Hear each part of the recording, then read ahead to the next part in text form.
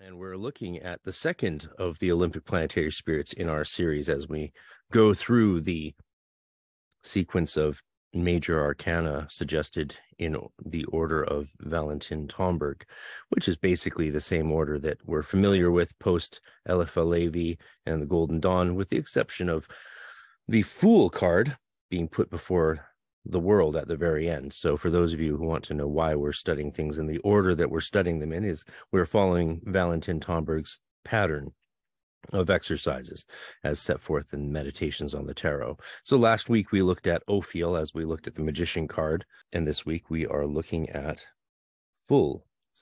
So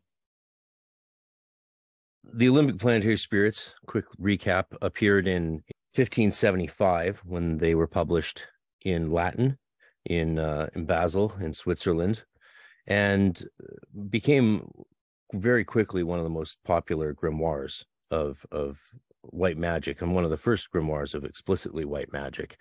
And then that text made its way into Agrippa's fourth book of occult philosophy. So attributed to Agrippa, pseudo Agrippa, as it's called, because it was not actually stuff written by Agrippa, as his students uh, often decried, such as Johann Weyer, who, of course, did the famous Pseudomonarchia Daemonum, which is sort of the sort of a joke grimoire of the goetic spirits, but then got taken very seriously and, and became a very popular tradition, as we're all aware. And of course, whether it's fully a joke or not is is sort of debatable. And I'll it's been that's been discussed at length elsewhere. I think it's one of the favorite topics of uh, of Dr. Sledge and other academics to to uh, consider how um, magical texts that weren't meant to be done seriously often get taken more seriously and become a tradition out of a out of what was originally sort of a joke.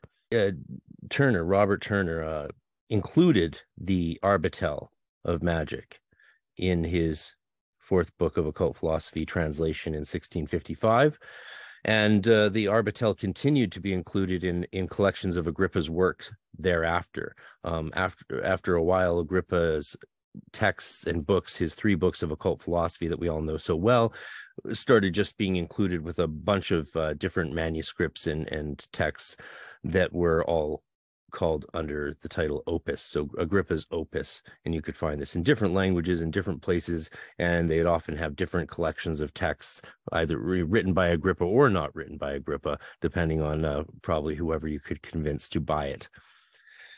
So the original publication date is 1575. We we suspect it was written somewhere between 1536 and 1563, and uh, given the title Arbatel the magic of the ancients. Owen Davies, a great academic scholar of who wrote this wonderful book on grimoires, doesn't talk about it much, actually, surprisingly, given how popular the Arbatel became, and and it would have probably remained, some say, the most popular grimoire um, since its publication, if it weren't sort of eclipsed by John Dee's Enochian work and its uh, subsequent promulgation by the Golden Dawn and, and Aleister Crowley, and that sort of eclipsed what may have been either really the Arbatel uh, as the most popular grimoire known today. But yeah, Enochian sort of uh, popped up and took its place.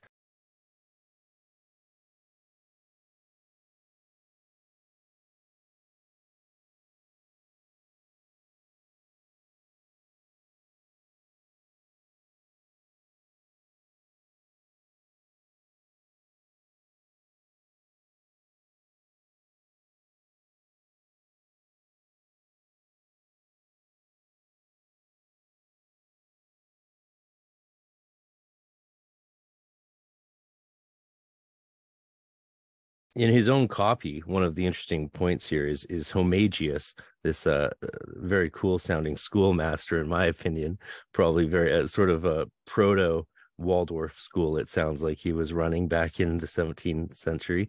Um, in his own copy of the opus, he notes about the arbatel. I wrote this and was happy to complete it on May 4th, 1617. So, how could Homagius have finished writing the Arbatel in 1617 when it was first published in 1575. How how is anyone's guess? So there's uh yeah, it, there's no explanation for that that I could find, but it's an interesting little note. of course people are often trying to take credit for things and it could have been a reference to something else it's just just uh, one of those curious uh, scratchings in someone's text that is worth repeating. Davies also notes how these magical texts appealed to reform theology in general. The the neoplatonic discourses he says on the angelic and spiritual hierarchies contained in the arbatel in heptameron book 3 and the fourth book of occult philosophy and in the steganographia which is by the abbot trithemius and the keys they provide to direct celestial communication appealed to the prophetic and revelatory aspects of Protestant theology. And this is, of course, the key difference between Protestant theology and Catholic theology, the idea of sola scriptura versus sola ecclesia, as, as the debate became known. And sola scriptura means only through scripture, and sola ecclesia means only through the church. And what are they talking about? What is the only thing that they're talking about? Revelation. Revelation is the key debate. So, how do you get divine revelation? Well, the Catholic Church, which to this day, in its dogma and teachings, um, considers the idea that there's any aspect of the divine in a human being heretical. There is, like, you might be surprised to hear this given we've been studying Tomberg's work so much and given how many Catholic mystics are so famous. But in Catholic theology, it's a complete no-no. It's a heresy that there's any aspect of the divine in us. There's no there's no bit of God in you, according to the Roman Catholic Church. This might seem brazenly uh, a, a, a contrary to many Catholic think speakers and teachers and mystics and writers that you've heard. But that's the beautiful thing about Catholicism. In some ways, it's still the best polytheism. There's a lot of different views that are allowed to live and breathe within the Roman Catholic Church. Um, most of them just aren't technically official according to the unchanging dictates and theologies that govern the ecclesia. However, they they give a pass and a wide wide range of operation to their membership, which is one of the ways that the Roman Catholic Church has maintained its supremacy in the Christian world to to an extent. It's still the largest of the uh, flavors of Christianity, but the idea that came along with the reformers and the reformed theology is the idea of sola, sola ecclesia. So the revelation and divine truth does not come through the church at all. It comes through the scripture.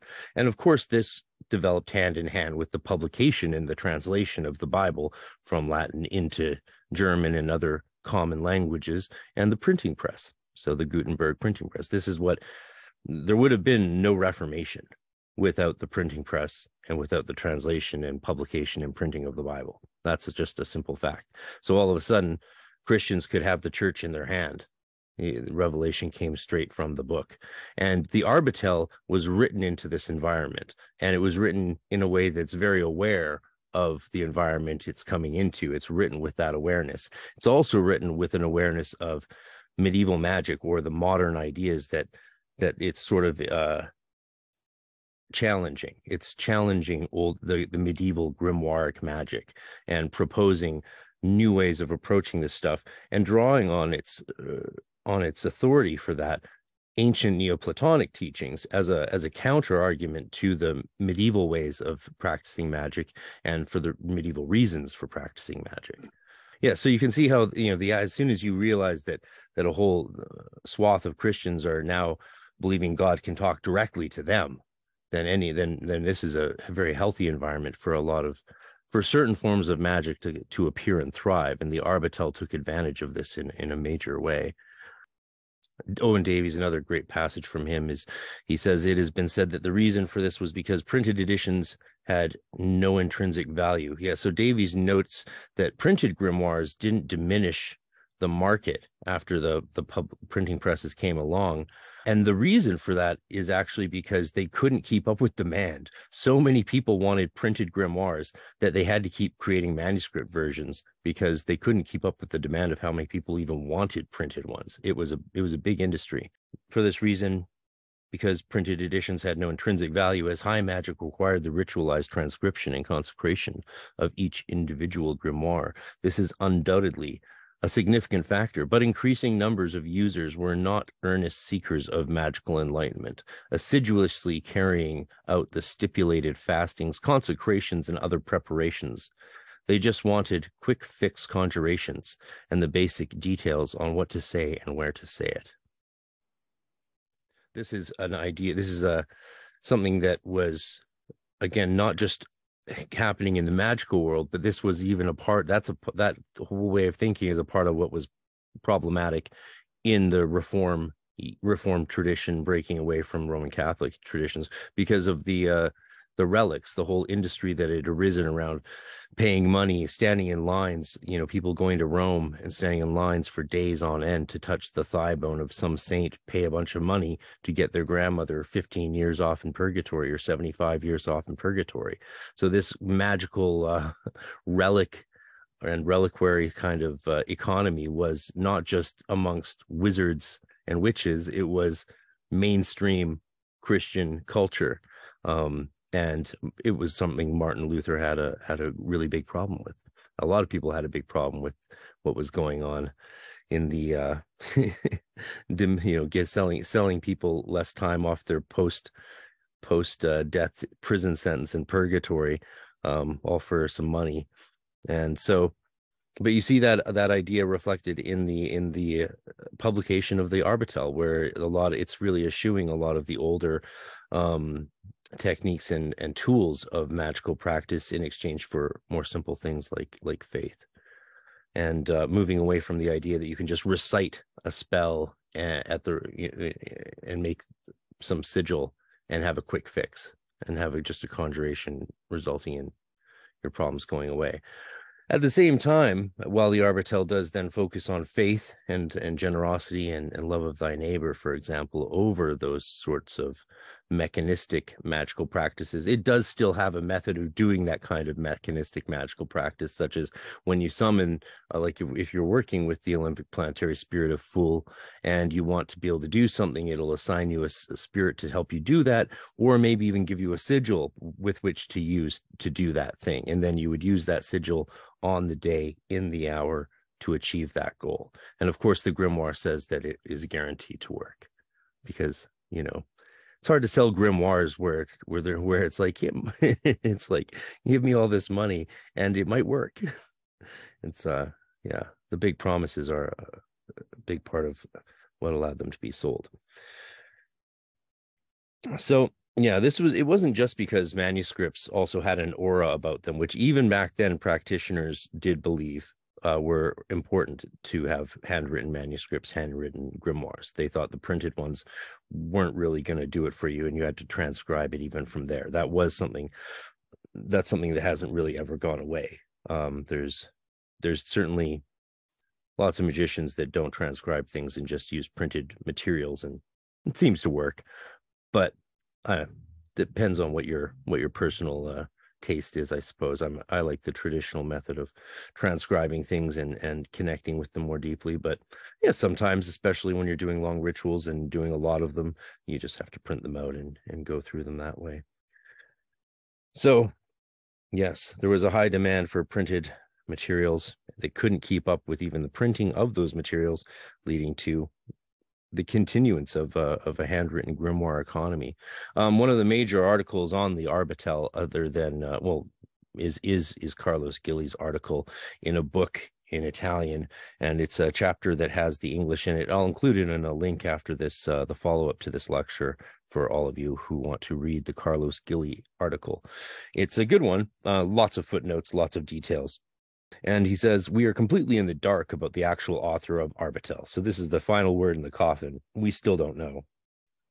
The only thing which may be said about him with any certainty is that he was undoubtedly an enthusiastic follower of Hermes Trismegistus and Paracelsus, as well as a great expert in medieval and Renaissance magic.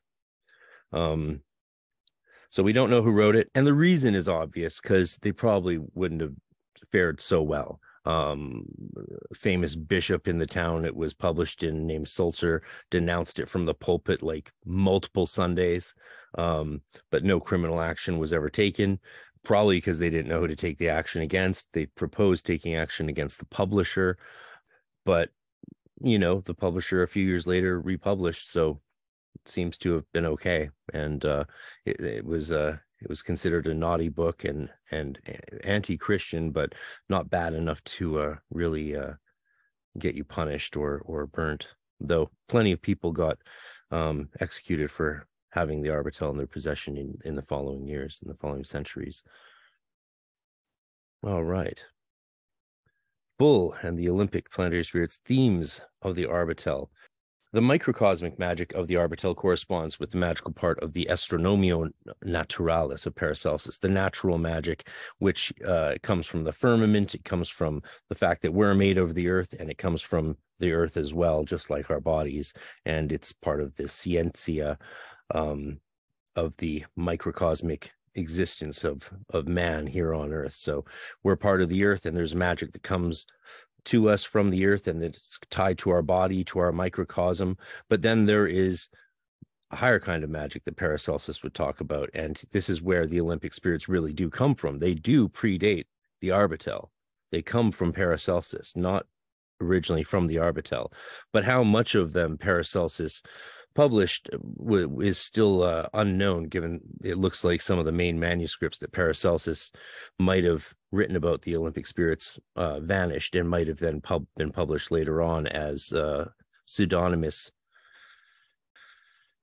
uh, texts by either his students or people just pretending that he wrote them and made them up themselves. We don't actually know, but there's a major text uh, that's a good example of something that may have been the tradition of Paracelsus's thinking on the Olympic spirits, uh, whether it was written by him or his student or a transmission of mouth to ear oral knowledge that got published, we don't know. And that text is the Arcan Arcanum Arcanorum, and that's what um, Frater Akers made a major study of in the Holy Heretics book he just put out and he's planning a full book on olympic spirits in the future which we're all very excited about because a lot of us like like myself who i got into olympic spirits many decades ago, two decades ago, you know, in the mid 90s.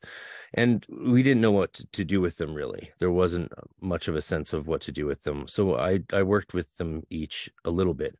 But after that, it's like, well, going to wait for, to, for there to be some more scholarship and some more knowledge before devoting more time to them. It didn't seem like uh, something that I was cut out for at that date. But now we have, uh, of course, the major works by Joseph Peterson and uh, the critical edition he put out from which is a brand new translation of the 1575 Latin text, whereas mostly we've been stuck with Turner's text, which had obvious errors, which we're going to look at in a minute. So, the kind of magic that Paracelsus is talking about, which then the Arbatel's either inspired by, based on, or is a oral transmission reemerging from Paracelsus's actual teachings and currents of students is uh, the Astronomia Olympii Novi. This astronomia springs from faith, and this is the key thing. Therefore, that which the nat- natural heaven is able to do, and so even more this astronomia. The sapientia, which means wisdom or prophetic magic, is that which is called magia celestis by Paracelsus, a subdivision of astronomia supera because it has its essential dwelling place with the heavenly ones in heaven and is given to those who are in the new birth. And it originates in Christ and is fulfilled, applied, and revealed by those who are his followers. Now, the reason I this is getting a bit into some of the weeds and unnecessary weeds of Paracelsian thought and categories, but the reason I, I included this quote is because there's a contrary view of the Olympic spirits and the whole arbatel that we looked at last time when we considered the Olympic spirits and Ophiel.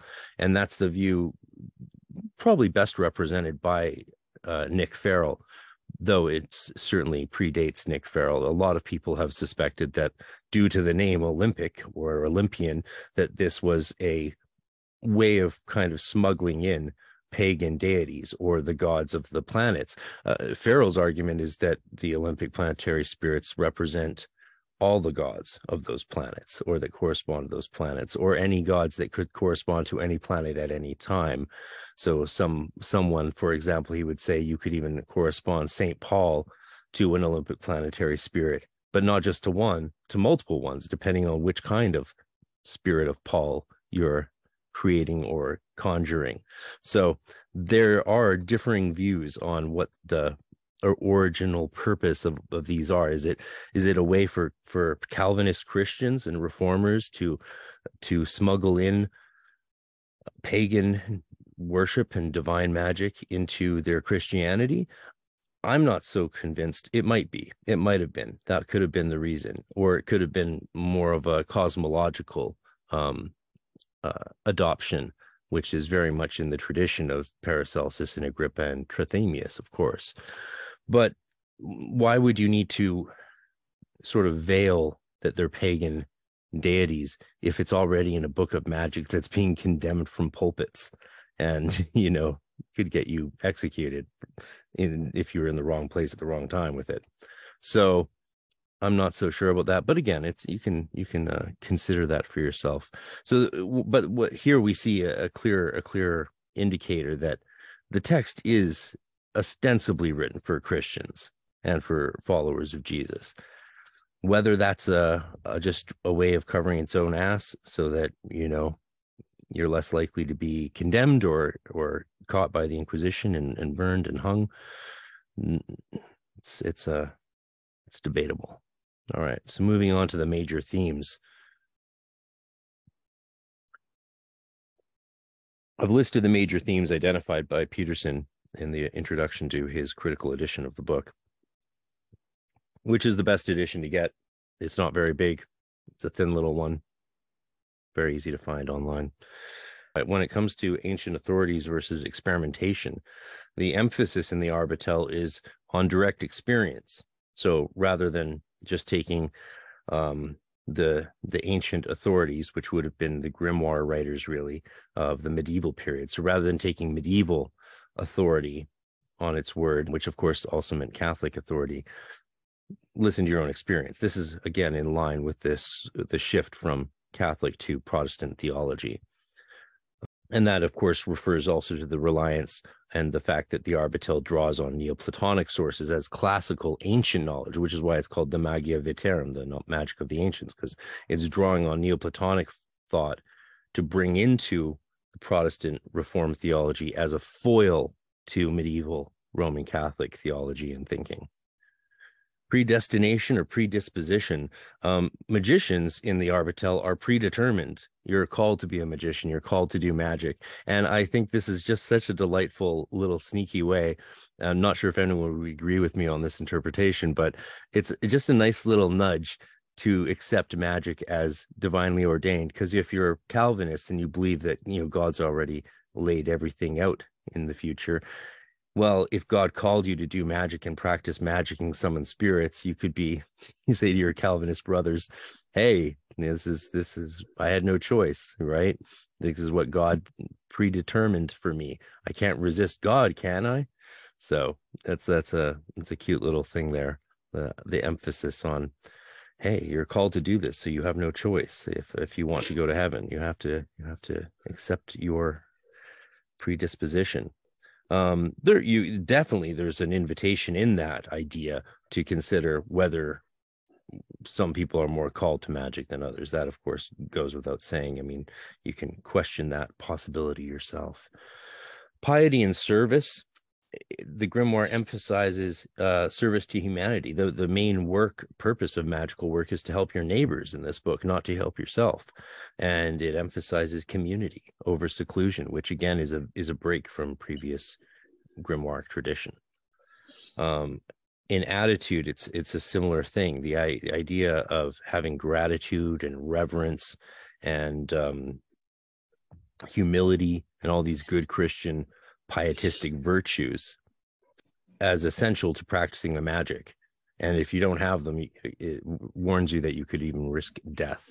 So, um, yeah, that's a quite a difference. Uh, number five, the the gods, angels, and spirits. Now, this is the seems to be the first grimoire there may be a, a, previous grimoire, but it, it looks like it's the first grimoire source of the idea that we attract bad spirits by our bad attitudes and behavior. We do see this idea in early Gnostic thoughts and other some other late Platonic thinking, where the universe is just filled with spirits, and you attract different spirits, and they come into you depending on how you behave, uh, what your virtues and ethics are versus your sins and and and failings as a person. Um, you know, that's an idea that's been around for a very long time. Today, still doing alive and well in the form of Scientology and uh, it's certainly part of this grimoire the idea that if you uh, uh, have bad luck maybe it's because you got a bad attitude and you're attracting bad spirits. So that that's an idea we we see uh, strongly in in the arbatel the aims of magic are all contained in one aphorism. The whole book of course is uh, seven by seven aphorisms so 49 aphorisms. And the arbatel in case you didn't you weren't here last time is is one tome out of what's meant to be nine tomes but the other nine were uh, the, uh, the other of the nine were probably never written. There's certainly no trace of them. Um, and it, it's certainly within magical style to if you were to create a grimoire to make claims that there's other more secret texts or fuller editions that you plan to do in the future or just want people to think that you're going to do in the future as a as a way to sort of blow uh blow up your reputation and uh, or maybe make more money on the sale of the manuscript. Because we do know for a fact that it was a big industry for those who could read and write to manufacture beautiful manuscripts and sell them to wealthy people. That was never forget that that was a thing of the aims of magic, there's seven greater aims, seven medium aims, seven lesser aims, and all of them have as the priority of helping your neighbor, which I think is very nice. So what a great thing to do magic for. We should all do that more often. And the method it goes into detail about as well, less demanding than other grimoires. The the main the main requirements aren't aren't some of these exotic tools and uh, timings, but more so just the the faith the the faith alone or pious attitude of a charitable life are the main re- prerequisites because that is what allows God to then do the magic for you through grace and give you the grace of helping you with these spirits. And again, that is just so parallel to the the changes and and breaks between uh, Roman Catholic and Protestant theology. It's it's it's uh, it's clear as day the difference of of faith over works is the other thing a, lot parallel to sola scriptura through just the scripture or through just the church by which divine revelation comes is parallel to that the idea of through through faith alone or through works alone. So either the roman catholic idea that only your good works are going to save you and the protestant idea is it doesn't matter what you do it's your faith alone that's going to save you. You need the faith. The right faith saves you. Roman catholic good deeds the right work saves you. And you see actually a really interesting form of the of the faith alone theology that manifested in the american south in a fascinating way known as the grace walk.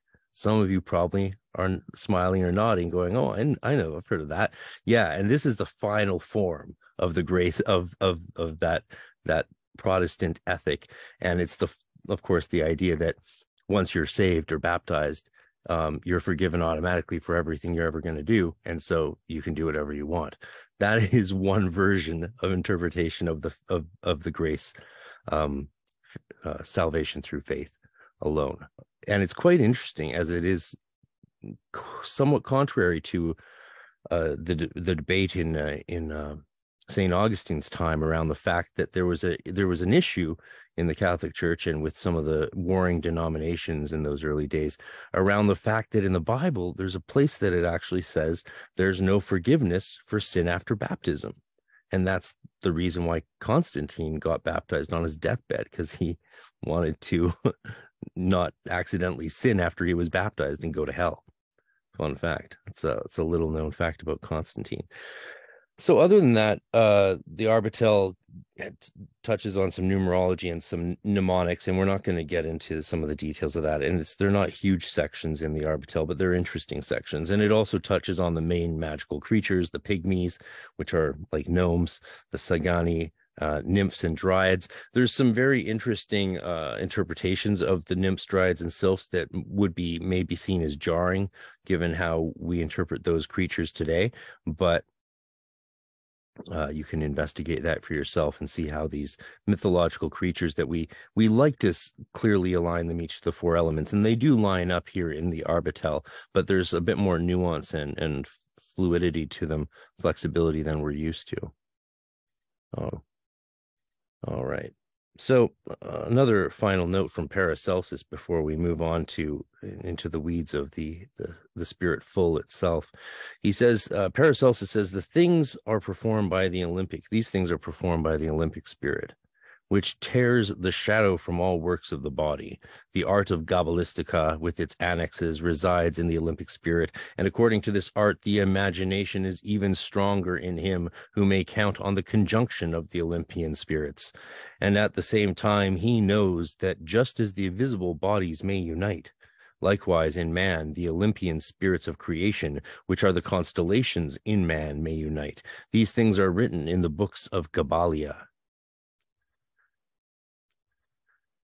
You've heard many people argue around around the best spelling for Kabbalah, but I bet you've never seen that spelling for Kabbalah before. Uh, there you go. That's that's just because the it's a old German and or Latin and uh, the G and the K, G and K are similar sounds. So yeah, Kabbalah was sometimes Kabbalah, as we see here. Gilly also notes about Paracelsus was the first, to, in addition to being the first to mention the Olympic spirits and the Olympian spirit, um, and writing about them. He says that these things are performed by the Olympian spirits, which tears the shadow from the body, and the idea that that these spirits are are more than just independent servient spirits or or like gods is really here from the beginning in Paracelsus's description. So when you see this sort of struggle amongst modern magicians and scholars to categorize the Olympic spirits properly, to say either they contain all gods or they are the spirits of the planets or the spirits behind the planets, which would make them similar to sort of the Gnostic idea of the archons, except maybe a, a little less uh, um, sinister than the archons, you know, debatably. But yeah, it's because of this Paracelsus's note. And so like the Arbatel could have just been written by someone who knew Paracelsus' work and was like, oh, it's too bad he never got to write this. I'm going to write this. And and a learned person could have done that. Or it could have been part of Paracelsus's oral teachings or lost teachings that got transmitted, carried down, and then emerged a little while later in the form of this book. Um, more of that sort of oral transmission is discussed by Acker in his Holy Heretics, which is I highly recommend you read.